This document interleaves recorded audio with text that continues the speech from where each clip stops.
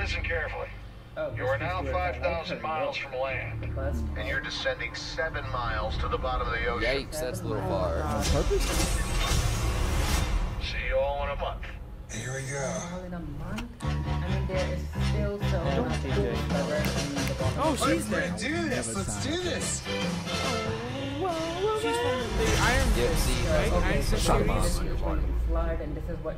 Oh, whoa, whoa! Going for that Word? bigger audience with Kristen Stewart's look, I Dead can tell. vampires. Okay. Vampire So the water is going to drip in. They're going to have to survive, uh, survive a flood, like flooding. Like glasses. Oh god. That's Oh, not God. really. Oh, I'm okay. Yeah, I really thought that this was supposed to be some sort of supernatural. Oh, type the of breach. breach. Oh. I'm gonna. Run.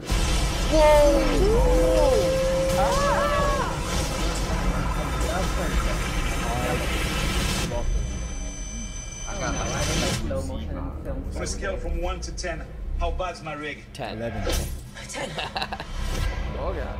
We drilled to the bottom of the ocean, and we don't know what came out. Okay. My Gotta get to the station. nightmare How is did what we this movie's get about. there? Cool. Did you? We just gotta walk with insufficient oxygen across the bottom of the ocean. You don't know what's out there. Worst idea ever. Yes, Looks yes like it it is. is. Something has awakened. Something is awakening. Cthulhu, if that you. You need to survive. Oh, whoa! I hate underwater It's an creatures. oct- it was an An octopus. alien creature. What the hell was that? Why does it look like fallen is that? Italian franchise? Oh, What is happening? It's big. uh, There's something uh, Smart. dude, this looks wild. Epic.